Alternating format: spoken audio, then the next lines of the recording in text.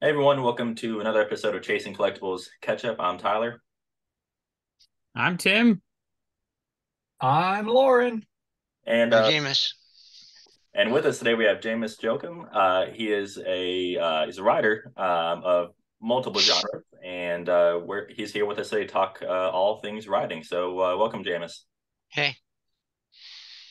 So uh, just level setting. Um, I guess uh, what do you do? What do you? Uh, I know you write, but uh, what kind of stuff do you write? Where where do you write it? Um, self publishing. What what all do you do?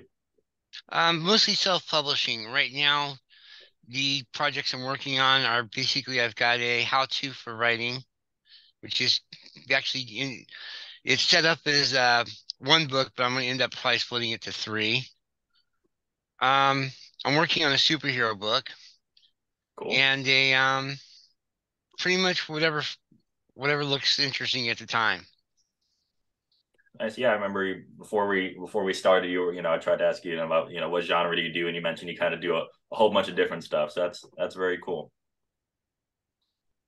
So how how long have you been been doing this? It uh decades, years, just get started, or how long have you been Probably, doing this? probably a little over three decades if I start from uh, when, when we started with the student newspaper back at uh, in Sacramento. Okay, cool. Uh, Awesome. And it's Wow. been a smooth ride the whole time, I suppose.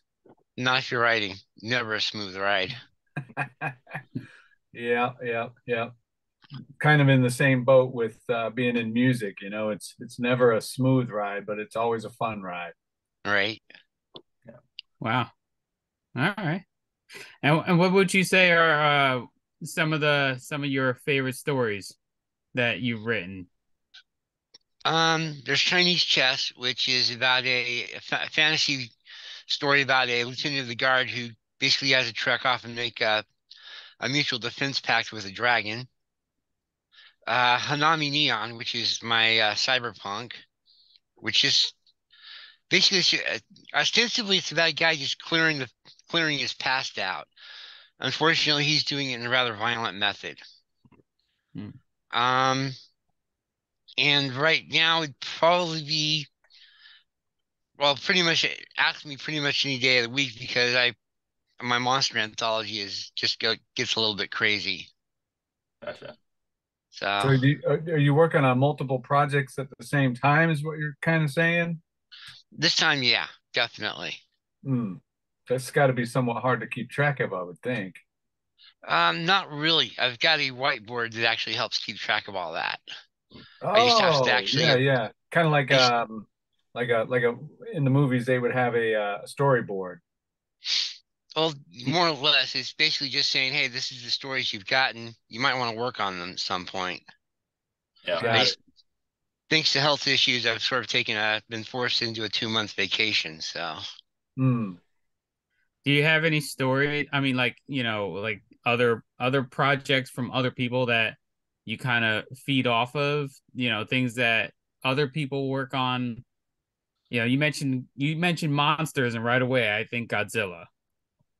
Oh no, the the Monster Project, um, over on Vella is basically just uh, let's have fun with let's. It's basically a why we like monsters type of deal. And right now, I'm basically dealing with the uh, relatively small humanoid type.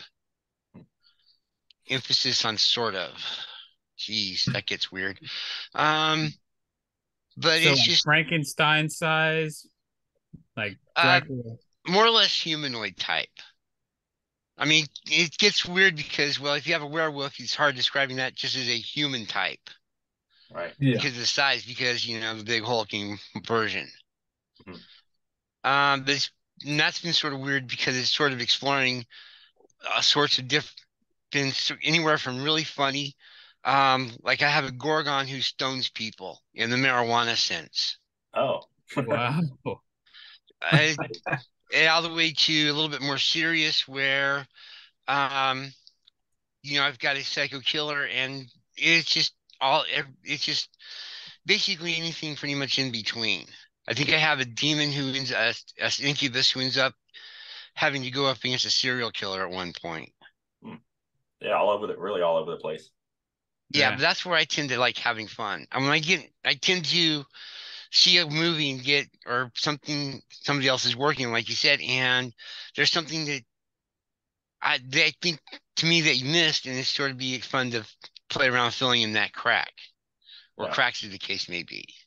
Yeah, well, that's what's fun about being a writer. You know, kind of like you're, you get to kind of create this world, and then you kind of go from there. You know, you can take, um, you know, there's a lot of ideas that like basically have been done. Like it's hard to complete to create a, a completely brand spanking new idea because everything has influence. You know, there's a whole even like the very basic concept, like the hero's journey, has been so many things has that basic concept, but you can take it in so many different directions.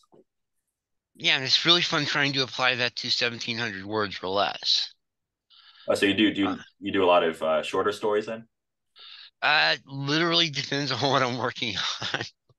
Right. But sort of putting this into a little bit of perspective, you've got the monster. uh, Why we like the monsters, which is literally about 15, to that- 1500 to 2000 words. You've got the writing book, which is, and that's it. It's just straight short stories. It's anthology all over the place.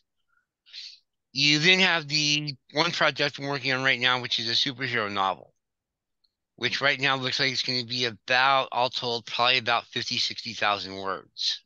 Wow. And then, of course, there's the how to writing thing, which is I keep trying to say 1700 words, but the reality is the, the chapters end up being more closer to about 22, 2500 words. Mhm. And then, of course, there's the Riffs fanfic, which is just. I'm not really sure how to qualify that outside. I think it's going to be a book. Might actually end up being a, a series. I hope, but it get but it's sort of weird. So, and the chapters there tend to be about 15 to 1800 words. Well, you, you talk about the uh, the uh, I guess the advice book, right? The one that's like how the how to book. Um, is there a piece of advice? Because I've I've been writing for a while, trying to get a as a science fiction book I've been working on for quite a while, and I've you know done a lot of kind of self teaching and and re- and uh, listening to a lot of people and taking a lot of advice that's like really helped me grow as a writer. So, is there any advice that you think is like really important for for writers to know? Just because it keeps coming up, write what you want to write. You know, forget what. Don't be embarrassed by it. Just go for it, because you've got a lot of people who want, have a lot of really great stories, but they tend to get they tend to feel embarrassed about what they're writing, and you can't do that. You have to write what you want to write. Period. Right. No, I think that's true for sure. Yeah. And I, I would say one of the best pieces I've gotten is kind of like um, I know like as writers, there's not like a lot of you don't want to be constrained by rules, but there are certain things that like I guess guidelines that like if you follow them, how you go about approaching them in your own unique style can uh, kind of make your stuff better. So like the whole uh, show versus tell uh, concept, which like sounds very basic. The whole like you know show a character doing something rather than tell the reader that they're doing it, but it's a lot more complicated. Like it, you can there's an entire book that I read just entirely on show versus tell. Um, you know things as simple as like um, saying uh, someone reached for you know uh, someone got up to open the door. Well, that's a motivational tell. Why don't you just have Yeah. the door the door gets knocked so the person stands up and you can you don't have to tell the reader that they're going to go get the door because you know they're going to get the door or something as simple as uh you know saying so and so felt cold. Well that's not fun. You know they're shivering. They're you know there's they can feel i don't know their faces blush they're you know you it's off the top of my head but you know you can some rules they're not necessarily constricting but it helps you think about okay how can i do this in a better way that is better than just like oh he felt cold or he's sad you know Yeah, but see, here's where I've got an advantage. Like I remember that going all the way back to the school paper. Mhm. If I had if the other word of advice is take a journalism class, because you learn real quick that when you've got to make a deadline and when you've got to be have X number of words, you kill all that filler. You Right. have to, by definition, show you you stop by learning how to do journalism journalistic writing. You stop telling and you automatically instinctively start just telling describing what's going on and right because you're so keyed into the five w's and the one h you're you know you're answering all those questions as you go, and so you're not really show, telling people with or telling people what's going on. You're just simply going straight into the description and just the descriptions that matter. Um, the example like was told today, for example, is if you know you hear somebody, you know, uh, some character hears a phone go off, you're not going to describe reaching for the bag, going into the bag, grabbing the phone out of the bag, you know, flick, you know, flipping the phone on. You're just basically going straight to answering the phone. Right. So you've done all gotten rid of a lot of that extraneous filler because it's not important. You're going straight to the action that matters. Yeah, I think another one that kind of uh, in that same vein, like um, uh, like uh, what's another one? Uh, I just lost. My personal like favorite, other than that, is "Kill Your Darlings." Even though my my version usually involves machine guns. What do you mean by that? Kill your darlings. Mm-hmm. Basically, get rid of stuff you think is important, but really isn't. Yeah. Stuff you think is like really, really cool. I put all this work into it. I it's on my outline. I've got to stick to it, and then realize it's a good piece of writing, but it doesn't work with what I'm doing. So, you know, kill your darling. Yeah. Like you said, though, mine usually involves machine gun and explosives. So. yeah, I guess another. Now you think about uh, this came back to me. The whole like saying something like a smile appeared on their face you're just like, where else would it appear?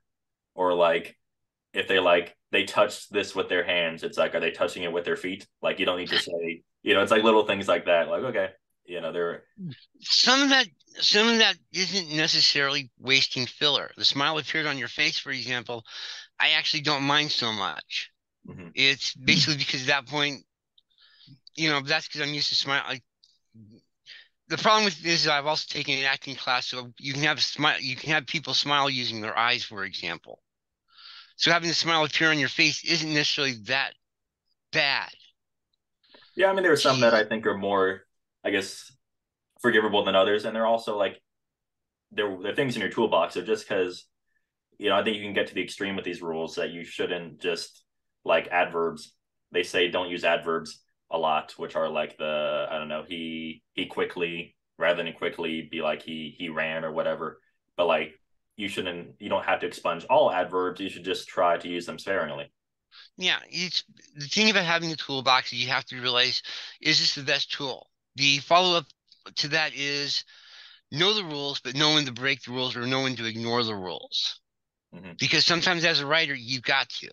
There's a lot of really cool writing out there that Take Hemingway, for example. There's a lot of times when, you know, he's arguably one of the best writers ever, but he's breaking rules. Mark Twain, you want to do nice short sentences, right? Mark Twain has, I actually timed out one of his paragraphs or one of his sentences in uh, Connecticut Yankee in King Arthur's Court. The thing is like a page and a half. Short sentences.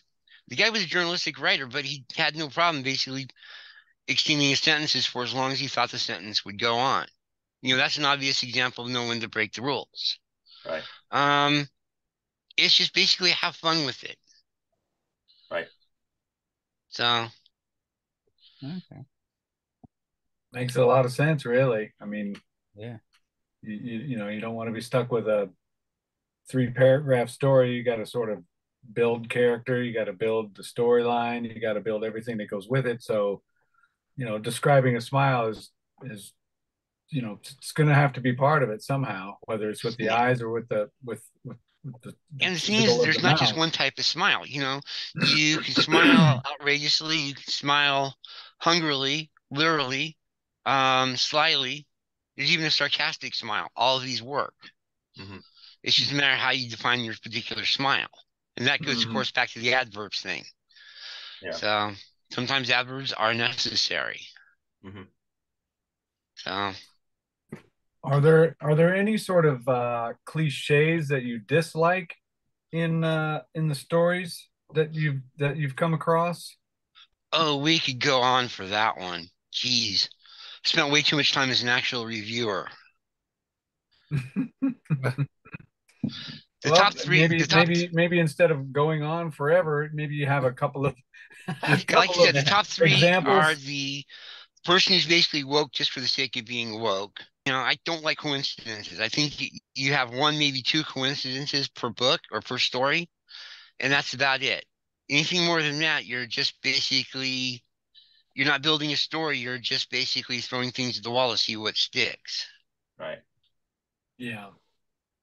Um, and of course, there's the dreaded, and I'm sure how to put this one, the person who sticks way too much to what they think is going to sell, and that never works out the way they want it to.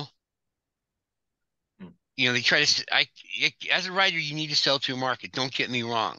You're always going to have that stuff in your story that's just there to basically, you know, to sell. Okay, so I I know you've done a lot of work, uh, a lot of books. Um, where can people follow follow your work and um you, you know if they if if they're interested in in picking up anything that you've done you know um the one i'm trying to get hardcore on right now is medium um basically that's got a lot of original articles plus i'm taking the stuff from the writing book and porting that over there every so often um if you're in america um definitely on vella all over the place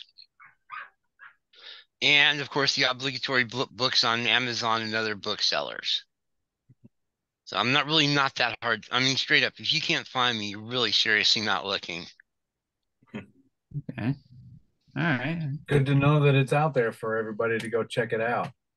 Uh, yeah. uh, the two books I'm just because I thought you guys might get a kick out of is I've got one book on uh, character design that basically just goes through and goes through all the various things up of how to create characters, you know, their backstories, description, that sort of thing. Again, I keep mine mostly, a strangely enough, I'm visual based. So I tend to, even though I do a lot of comic book stuff, I'm definitely, it sort of spills over into other areas.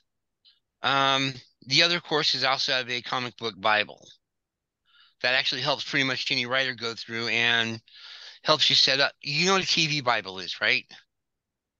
The the TV Bible? No. Yeah.